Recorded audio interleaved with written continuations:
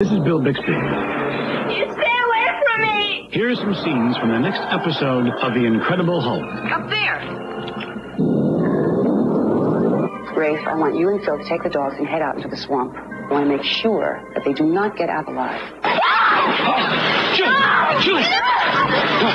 It's quicksand!